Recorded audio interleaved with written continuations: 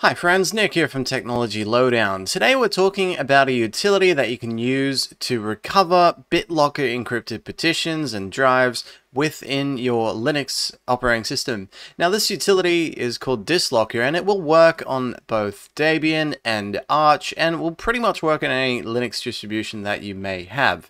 So to get into this one, let's just jump on over and I'll just bring up DisLocker here for you. This is the Linux man page for it. And basically it just uh, simply allows you to read your BitLocker encrypted volumes under Linux. Now, why it, I thought I might do this story was I had a device that um, belonged to a user that needed files recovered from it. Initially, I thought that uh, it it wasn't booting correctly, so I thought, oh, it's possibly some sort of hardware failure in it. Uh, I booted to a USB boot key, couldn't access the partitions at all, uh, and this was a Linux boot key, I, will add, um, and I couldn't even see them there, so I thought, okay, well, if I can't see it in Linux, probably can't see it in Windows, so I was about to nuke it when I thought perhaps it is encrypted.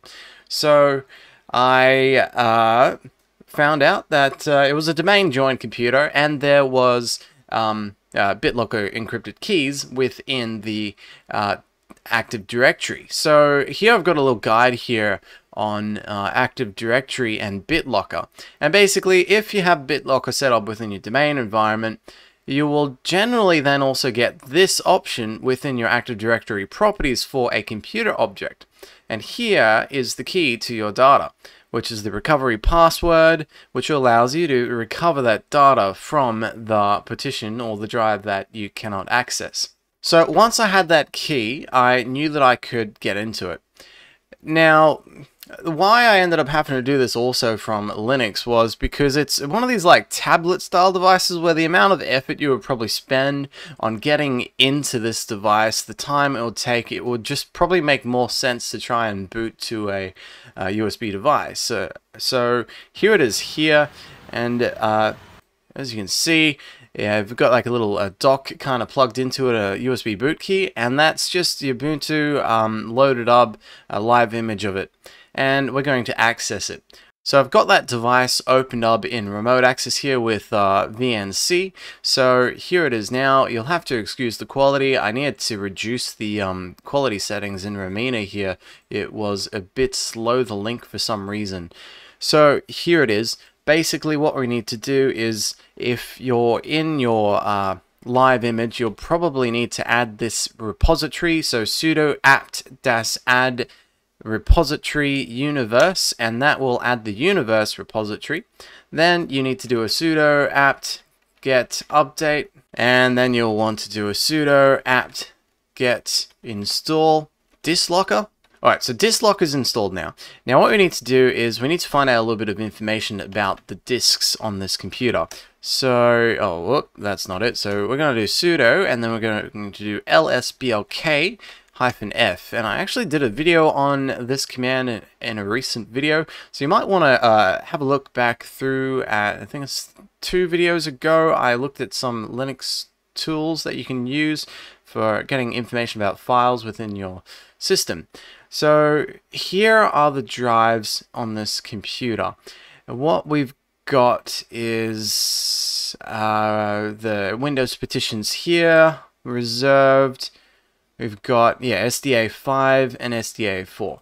Now I know from the way that this device is set up within the domain environment that it is, that it is set up with a C and a D drive. So from my judgment, SDA 5 should be the drive which I need to target. So that's the information I need there. Now what we want to do is we need to create some mount points for this uh, partition. So we're going to cd into our mount directory for a moment. Ah, media, that is. Then I will do sudo make dir and we'll call it uh, BitLocker.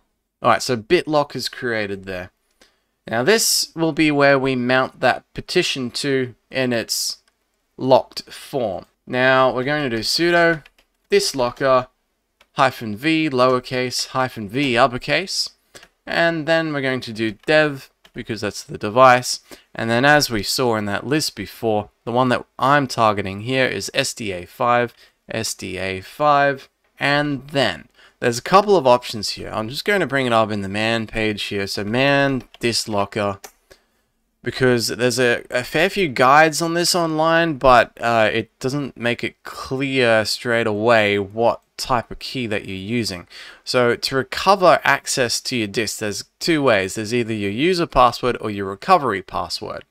So pretty much you, if, if you're recovering it this way, you would be using the recovery password, which is what you see in Active Directory. So to do this, I'm just going to specify it in its long format here. So uh, it's hyphen hyphen recovery uh, tab complete's not working there. Recovery password, and then you want to put the equal sign. All right, so you enter in the recovery password. I'm just going to enter in some random text there for the moment. Then hyphen hyphen. Then you want to tell it where you want to mount it to, which is media, and it will be BitLocker. Now I'll enter this one, but obviously it's not going to work right now because that is the wrong key. So I'm just going to get the correct key. Now, if your key doesn't work and you're not sure which one it is, you can try this command multiple times. I'm just going to enter in the correct one now, again, and that'll be off the camera here so that uh, the recovery key isn't visible. So if that command runs successfully, you'll see no output from that command which is fine. So what we could do is now we could do ls lthr, and we can see that BitLocker is there. It's got a whole heap of question marks there. Not necessarily a problem if we were to do, like, say, sudo ls um, BitLocker. I'm pretty sure this one... Oh, yeah, so uh, it's got the dislocker file, okay? So it's done what we needed it to do. Now we need to tell Linux how to deal with this dislocker file. So the way in which we do this is with this next command, which is going to mount that bit uh, dislocker file to a directory of your choosing. So the way in which I'm going to do this one is I'm going to make a directory inside my home directory here, and I'm just going to call it, um, say, uh, disk. All right, I call it disk within my home directory. I didn't need sudo for that either. So sudo mount, and then uh, we're going to do O for open, and then a looping. And then we're telling it the location of that dislocker file, which is media. It is then in BitLocker, and then the dislocker file. Now we need to tell it where that mount point is, which is home, Ubuntu, and then disk. Now, if all is good, should mount. Now, this error does come up if there might be perhaps an issue with the recovery, uh, with the partition that you're mounting. Say it hasn't been shut down correctly or the partition is corrupted. So you need to mount it as read-only and that's just the hyphen R command.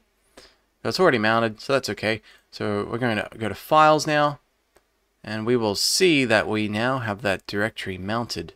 So just here, I've got the Windows uh, drive loaded up. You can see there's a dot, a uh, docx file there, and uh, there's another file here as well, a couple of directories, and yeah, that is mounted.